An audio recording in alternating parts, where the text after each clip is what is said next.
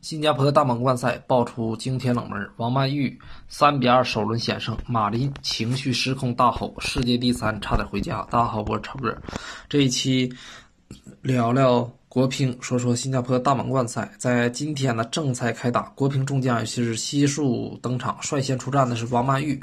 啊，首轮呢，他迎战印度的阿库拉啊，结果印度队啊，这个阿库拉呀是特殊打法啊，王曼玉也显得非常不适应。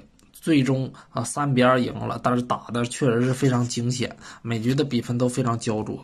这阿库拉在釜山世乒赛团体赛的时候，当时三比零击败了王艺迪，啊，所以说这场比赛呀，这个啊，王曼玉啊，如果说他真要输球了，遭遇了有了的话，那很有可能世界排名还是排在第三。现在。孙颖莎和陈梦是排在前二。如果说世界第三的话呢，奥运门票可能就就此没了。啊，在赢球之后啊，王曼玉也是这个挥拳怒吼，包括场边的马琳呐，也是啊这个挥拳庆祝啊。这个比赛打的是太难了